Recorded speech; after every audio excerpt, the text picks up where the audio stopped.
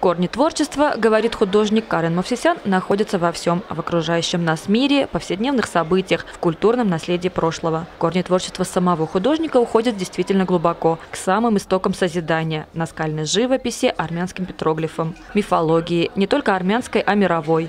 Тут магический реализм через почти гипнотическую палитру и геометрический орнамент. Тут анимализм, который пришел из самого фолка. Тут люди, как часть созидания, творения, часть мира самого. Это вот эстетическое восприятие этических каких-то категорий, то есть направляющих нас э, к, вот, к тому, что мы утратили.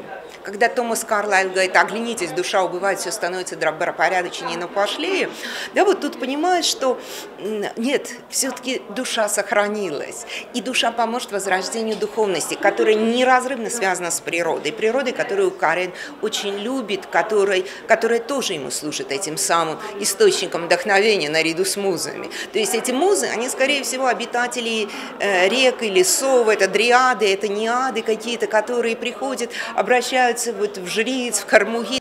Карен Мавсисян создает истории времени и пространства на полотне. И, кажется, используя очень схожие мотивы, художник не повторяется. Потому что у человечества, конечно, общая история, но у каждого народа она разная. Собственно, человек тоже очень разный, даже в сравнении с самим собой. իմ լեզում, իմ իմ մտածողը, իմ միֆոլոգիան, այսպես ասած։ Երբ որ դու անկեղծ ես, երբ որ դու ստեղծում ես անկեղծ, չես կարող կրկնվել միշտ տարբեր են, որովհետև մարդ երբեք նույնը չի լինում։ Ես այսօր ուրիշ եմ, վաղը ուրիշ եմ։ Բնականաբար աշխատանքն է, պետք պետքա տարբեր լինի։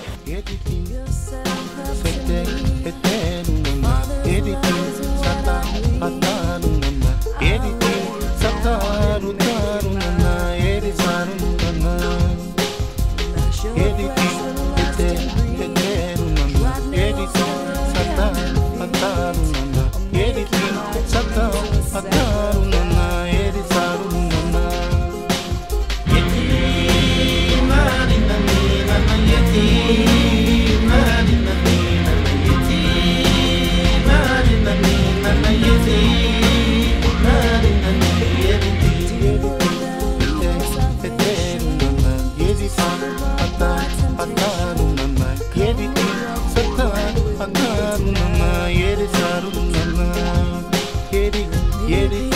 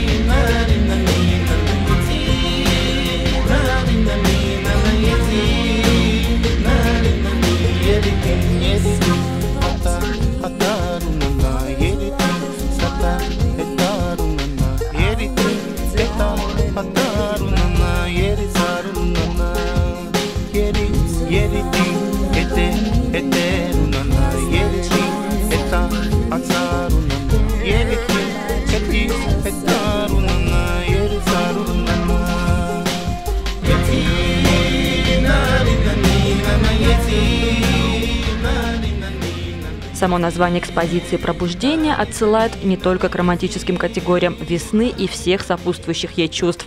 Художник видит в пробуждении и проблемы насущные. հասարակությունը, մեր հիմիկվա հասարակությունը զարթոնք ապրի։ հոգևոր առումով, որովհետև մենք շատ սպառող ենք դարձել, շատ նյութական ենք դարձել։ Сегодняшний наш гость, выставляющийся художник, это э, Карен Мовсисян, художник достаточно молодой, но очень интересный, на мой вкус и взгляд, э, художник, который, в общем-то, так зачарован биением жизни, зачарован ее многообразием, ее э, деталями, ее таким э, мистическим и мифологическим, на самом деле, круговоротом всего и вся в мире и в природе. Э, когда мы придумывали название для выставки, и было несколько вариантов, он предложил свой вариант «Зартонг» – пробуждение. Потому что для него жизнь такой вечный круговорот, э, вечное движение, вот, когда твари у него не дрожащие, а наоборот э, постигающие себя, постигающие этот мир. И чем больше вы вглядываетесь в его картины, тем больше там как раз-таки деталей, мелочей, нюансов, каких-то молекул и клеток, бьющихся вот э, в этом вечном ритме жизни, пожирающие друг друга, вырастающие друг из друга, осмысляющие.